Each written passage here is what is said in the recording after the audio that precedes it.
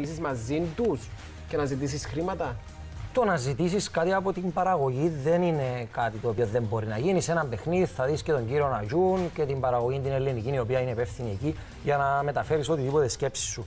Τώρα με δυσκολεύει πάρα πολύ το να πιστέψω ότι κάποιος πήγε και ζήτησε ένα από τον Ατζούν. Θέλω να μου αυξήσεις το μισθό μου, γιατί έχω την εντύπωση ότι γνωρίζοντας τον και γνωρίζοντας τον και σαν παίχτης, αλλά και την επόμενη χρονιά που πήγα σαν καλεσμένος guest και μου 15 μέρες στον Αγίο Δομήνικο διακοπές και τους είδα. Πήγα τα τουρκικά survivor, τα ελληνικά survivor, τα παιχνίδια. Καθόμουν μαζί του, με καλωσόρισε. Πιστεύω είναι άνθρωπος που αντικειμενικά θα το πω, δεν έχει ανάγκη κανέναν ναι. κανέναν σάκιν, κανέναν τάνον, κανένα βασάλον σε εισαγωγικά γιατί από τα χέρια του έχουν περάσει πάρα πολλοί σαν εμάς, για να είμαστε αντικειμενικοί. Ο, Εννοείς ότι δεν θα υπέκυπτε σε κάτι τέτοιο. Δεν θα υπέκυπτε σε μια απειλή, σαν να το πούμε, σε κάτι το οποίο τώρα αν έχει γίνει, γιατί πιστεύει ο ίδιος ότι πρέπει να δώσει. Επειδή έδωσε ίσως παράταση στο παιχνίδι, δεν ξέρω τι, τι υπογραφές έπεσαν. Ήθελε να δώσει μια παράταση στο παιχνίδι και τους λέει για ανταμοιβή για αυτόν ή για τον οποιοδήποτε λόγο θα σα δώσω αυτά. Του, σω αυτό να έγινε. Το άλλο που θέλω να σε ρωτήσω, κάπου διάβαζα ότι και στο Survivor 1 το δικό σας. Πάντως, συγγνώμη, όταν βγουν αυτοί οι δύο και κατάλαβαν τι έκλεισαν και τι έκλεισαν οι άλλοι. Και ότι όλο το παιχνίδι ήταν πάνω του.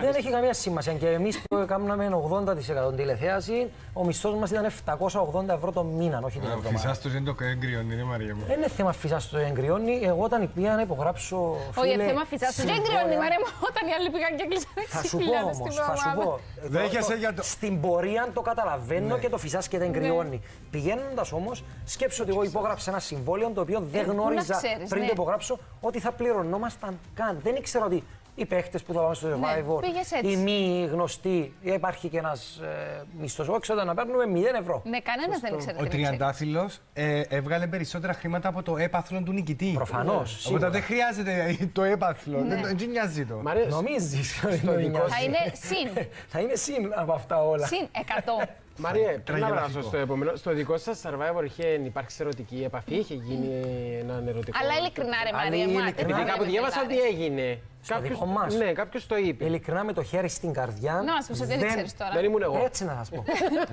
δεν ξέρω, προσωπικά δεν έχω κάνει τίποτε στο παιχνίδι. Οι έγνοιες μου ήταν το πώς είναι να αγωνιστώ, το πώς είναι να φάω, το πώς είναι να προχωρήσω το παιχνίδι, το πώς είναι να καλά η ομάδα μου. Ήταν άλλες οι έγνοιες οι δικές μου πηγαίνοντα τσάμε. Εγώ πήγα με έναν στόχο να με ρωτάς. Εγώ μπήκα στο Survivor για να κερδίσω το παιχνίδι.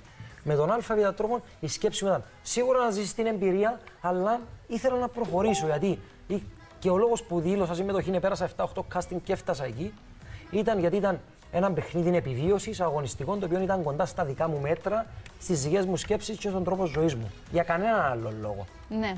Εν τω μεταξύ είχες ένα μειονέκτημα όμως. Επειδή πήγες, δεν βγήκε ποτέ προτινόμενο. Ε, συγγνώμη, δεν είχε βγει ποτέ ε, για να ψηφίσει ο κόσμος. Οπότε δεν γνώριζε την απήχηση που είχε έξω. Ναι. ναι. Όλοι οι υπόλοιποι, ο Ντάνος, ας πούμε, είχε 9 φορέ που είχε βγει. Εγώ είμαι ο μόνος παίχτης. Μπράβο. Που πήγε Που ξεκίνησα από την πρώτη μέρα του παιχνιδιού μέχρι την τελευταία. Όχι, δεν ήμουν προτινόμενος, αλλά δεν γραφτήκε ποτέ Μάριος έστω να πάρω μια ψήφο ναι. από mm. παίχτες, είτε στο ατομικό μετά από και ναι. αντιπάλους εισαγωγικά. Δηλαδή, αυτό νομίζω όμως δείχνει εκτίμηση προς το πρόσωπο ναι, μου. Ήμουν πολύ δίκαιος. Δεν επέτρεπα ούτε στην ομάδα μου ούτε στα. Γιατί είχε πολλές φορές που κορίτσια της ομάδας μου έκλαιαν και πήγαιναν εσύ κονάτε και τους λέω: Δεν επιτρέπω στις συμπαίχτε μου να κλαίνουν. Το επόμενο παιχνίδι θα βάζει δυνατά να κερδίσει. Πέρα δίνεις ψυχολογία σε κάποιον ο οποίος βλέπεις ότι η ψυχολογία του είναι ναι, κάτω. Ναι, και όχι να τον βάζεις ακόμα περισσότερο κάτω ναι. στο χώμα. Και Αυτή είναι η αγωνιστική μου έτσι, φιλοσοφία. Ναι. Και να πάω και στην οικογένεια της Μαριαλένας, γιατί βλέπει όλα αυτά που διαδραματίζονται και Χριστίνα μου πέρα από τη μητέρα της που λέει ότι θα πάθει το έναν το άλλον καρδιακό και δεν ξέρω εγώ τι άλλο θα πάθει. Οικογενειακό πρόσωπο μίλησε και λέει μας ξεφτύλισε σε όλη την Ελλάδα.